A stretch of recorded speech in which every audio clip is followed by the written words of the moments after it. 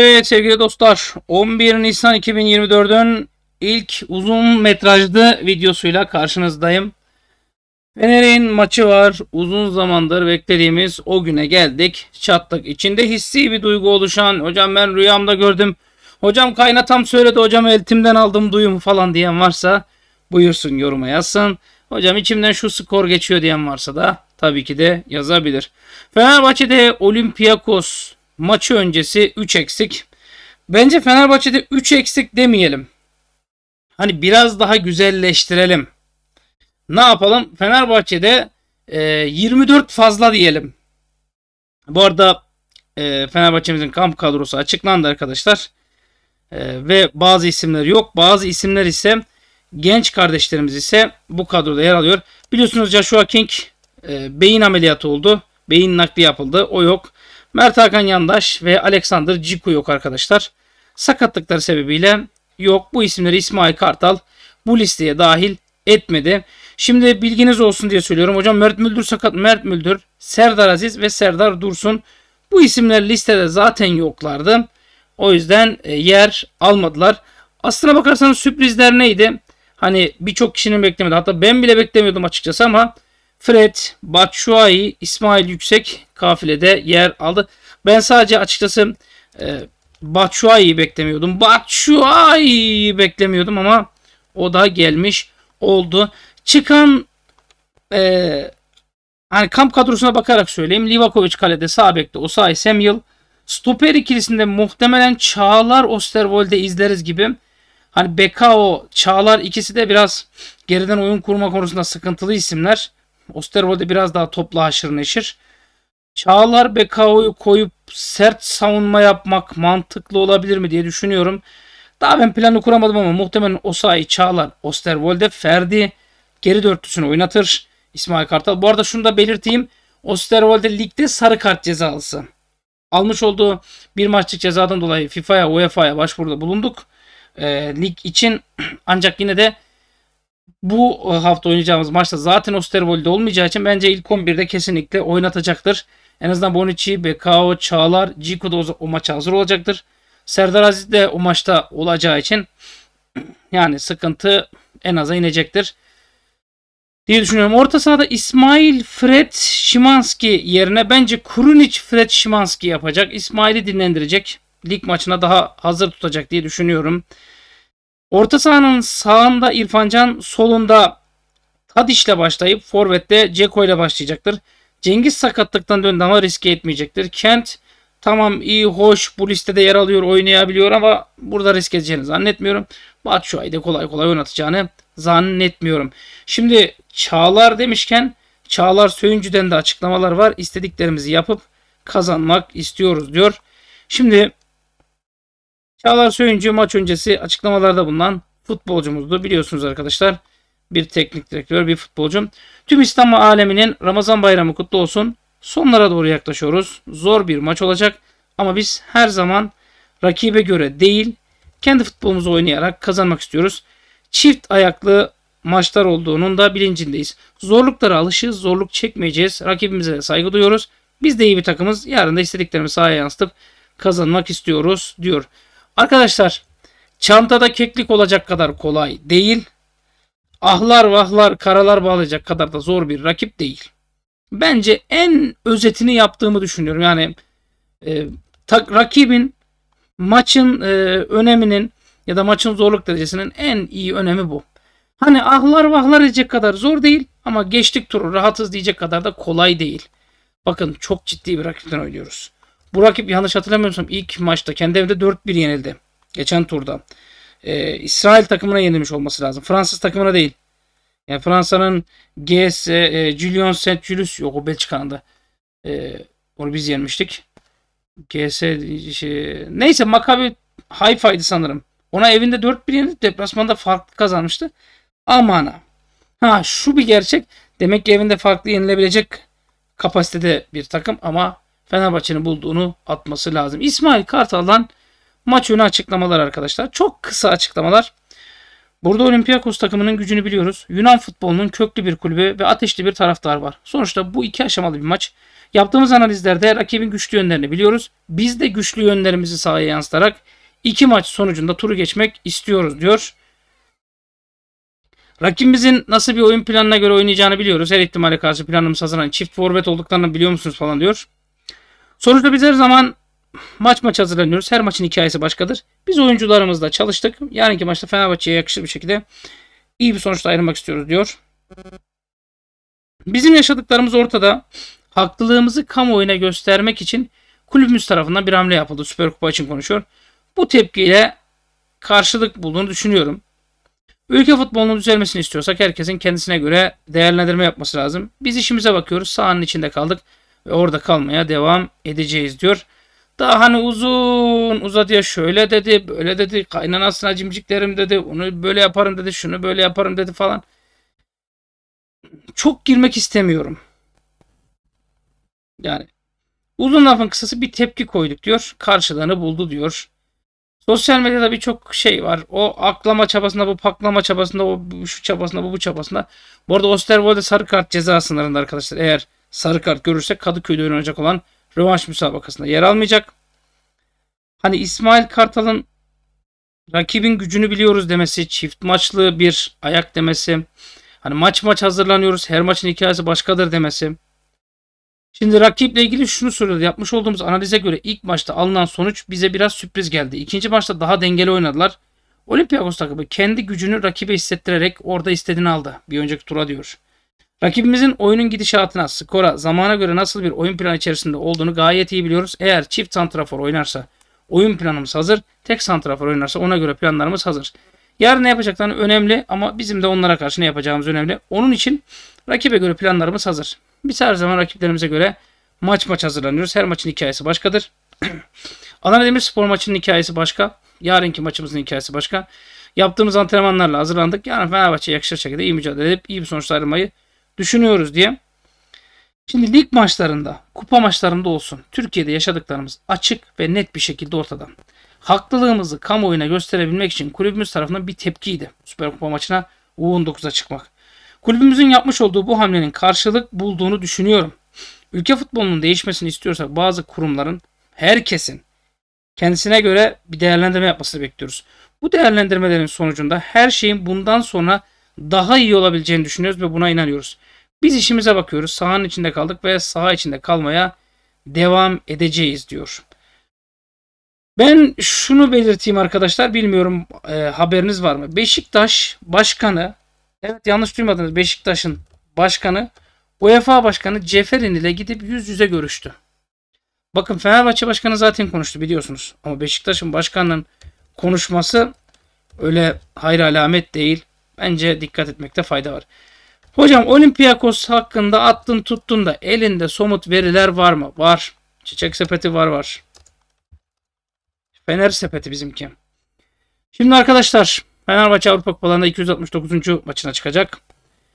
268 müsabakta 106 galibiyet, 55 beraberlik, 107 mağlubiyet yaşadık. Fenerbahçe'mizin karnesi 363 kez rakip fileleri havalandırıp 318 gol, şey 381 gol gördük kalemizde.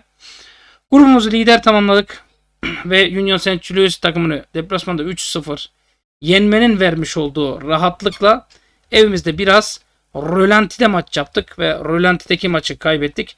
Ama zaten 3-0 kaybettiğin için hani total olarak bakıp ha 3-0 ha 3-1 de diyenler oldu. O yüzden totale baktık.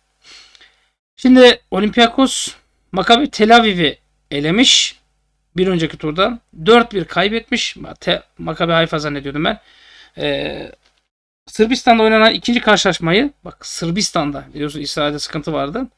4-1 kazanıp mücadeleni uzatmaya gitmesini sağlamış. Orada da 2 gol daha bulup 6-1 geçmiş.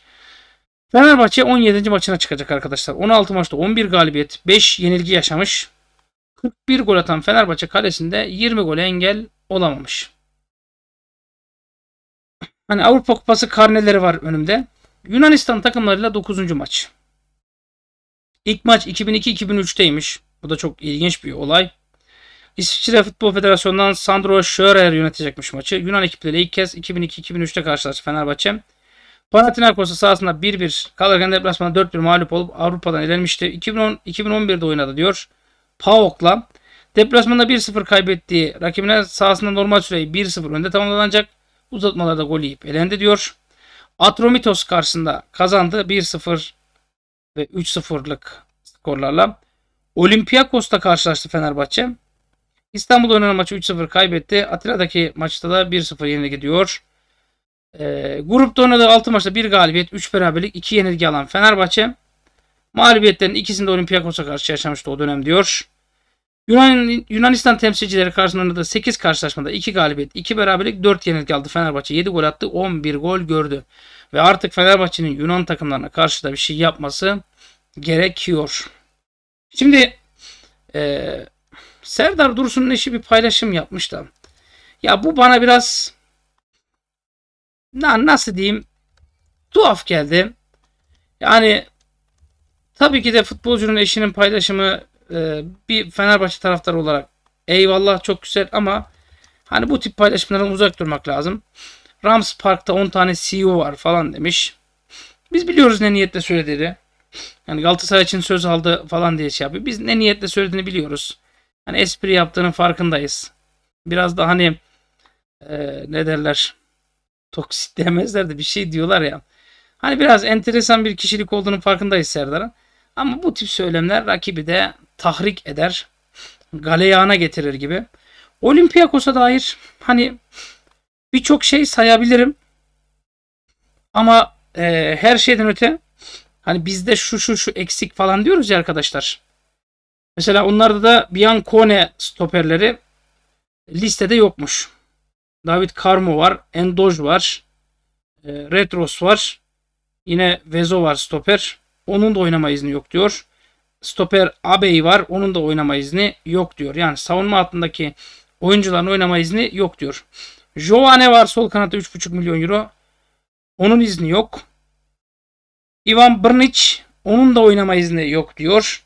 Podens sağ kanat oyuncularına sarı kart e, cezalısı ilk maçta oynayacak. Gelson Martins var sağ kanat. Onun da oynama izni yok. Yani sağ kanat ve sol kanatlarında ciddi eksiklerin olduğu söyleniyor. Fran Navarro forvetleri. Onun da aynı şekilde oynama izni yok. Ancak Ayup El Kabi var. Hatırlarsınız ligimizden. E, Jovetic var. 34 yaşına gelen. Yusuf El Arabi var. Ve Agustina Bah var. Bu arkadaşlarda bir isim daha sarı kart cezası diye biliyordum ama demek ki bizler yanılmışız. o demek ki o arkadaş sarı kart sınırındaymış. Hani iki tane önemli ismi vardı. En golcü iki isminden birisi ee, şeydeydi. Ya 13 milyon euroluk en pahalı sağ kanat oyuncusu Podens cezalı. David Carmo var stoperleri. O da Porto'dan kiralık arkadaşlar. 12 milyon euro. Bir de Fran Navarro da 10 milyon euro. Navarro'yu oynatamıyorlar. Carmo oynuyor. Ön libero Hezze var. 22 yaşında 8 milyon euro. Mendy Camara, Ortega var. E, Masuras ha sol kanat Masuras bu muydu? Bize cezalı denilmiş sanırım. Hani oynayamayacak diye söylediler de bayağı golcük bir kimliği olan futbolcuyu. Bu değildi herhalde ya. 9 gol 7 asist var 44 maçta. Neyse. Yani bilin istedim arkadaşlar. Totalde rakibimizin değeri 109.75 milyon euro. Ancak çok eksikleri var. Bu eksikleri de iyi değerlendirmek lazım. Tabii ki bizim de eksiklerimiz var. Ee, yaşadığımız şu süreç var. Ama Fenerbahçe süreçler üstüdür. Fenerbahçe'nin kendine gelmesi lazım. Birçok kişi bana şunu soruyor. Hocam ya Fenerbahçe kazanamazsa? Ya arkadaşlar bir kere şunu söyleyeyim bak. Haksızlıklar karşısında biz durmuyoruz. Bizim isyanımız sadece Süper Kupa maçının o tarihte alınması, bu tarihte oynanması şu bu değil bir kere Süper Kupa maçının Ağustos ayı dışında oynatılması zaten başlı başına bir olay. Düşünsene yani. Zaten Ağustos ayında oynatılmaması kimin faydasınaydı? Tabii ki de Galatasaray'ın faydasınaydı. Takımları daha toplanmamıştı. Futbolcuları tatildeydi. İşte sıkıntıları vardı. Transfer bitmemişti vesaire vesaire. Ama şimdi Şimdi Olympiakos cephesinde birçok açıklaması var. Ben iki saat o açıklamalara girmeyeceğim. Hani bu rakibi saygı duymadığımdan dolayı falan filan değil. Çok uzatır diye söylüyorum arkadaşlar. Yani 3 yıldız Fenerbahçe'de kadro dışı diyelim kadronun dışında kaldı. Acun Ilıcalı bugün acaba bizim maçı bayram hediyesi olarak Fenerbahçe taraftarına TV8'de ya da TV8.5'da naklen şifresiz yayınlar mı? Çok merak ediyorum. Ee, onu söyleyeyim. Bayramdayız. Yani maçtaki sıcak gelişmeler de bunlar. Hani sıcak gelişmeler de biliyorsunuz kimin oynadığını, kimin oynamadığını. Kadro tercihi de böyle. UEFA'dan büyük hata diye bir haber gördüm. Hani neyi e, paylaştılar anlamadım. UEFA'dan hatalı paylaşım resmi X hesabında Olympiakos Fenerbahçe maçı içinde bir hata yapmış. Daniel Podense ile Sebastian Szymanski'nin fotoğrafını yan yana koymuş. Podense ya da Szymanski perşembe günü kim etkili olacak demiş ki ama bildiğim kadarıyla da arkadaşlar yani e, Podens cezalı. Az önce de konuştuk. O yüzden de hani acaba dalga mı geçiyorlar Fenerbahçe? Şimdi Olympiakos'ta eksik çok diyorlar. Stoper Ruben Vezo, Nelson Abey, kanat oyuncuları Gelson Martins, Giovanni Cabral, Forvet Fernando Navarro. Kadroda yer almadıkları için Fenerbahçe'ye karşı yoklar diyor. Ya bunlara da çok takılmıyorum arkadaşlar. Fenerbahçe'miz için en güzel senaryo çıkacak. Oynayacak, kazanacak, işi bitirecek. Anlatabiliyor muyum? Başka hiçbir şeye gerek yok arkadaşlar. Ee, hakkımız hayırlısı olsun. Var mı içine doğan? Var mı hocam benim hissi skor tahminim şu? Var mı hocam görümcem eltim şunu söyle diyen. Bu arada lütfen bayramlaşmaya gittiğiniz yerlerde ya da evinize gelen misafirlere kanalı önerin. Ya böyle bir kanala aboneyim. Adam dedi ki bayram şekeri hatrına kanala kanalı ta, e, tavsiye et, öner. Gelsinler de deyin. Ben de sizden destek bekliyorum. Maç önü yani 19.45'te maçımız 18.45'te maç önü canlı yayın açmaya çalışacağım arkadaşlar. Birkaç dakikalık eksiklik olabilir. Siz kanalda dolaşırsınız. Zaten bildirimi gelir. Bildirim gelmeyen arkadaşlar zili mutlaka aktif edin. Hocam ben aktif ettim yine dolmuyor diyorsanız abonelikten çıkın. Tekrar abone olup zili aktif edin. Bu sefer taze abone olduğunuz için her bildirim gelir. Ben de bu kadar söyleyeyim. Görüşmek üzere arkadaşlar. İyi bayramlar tekrardan.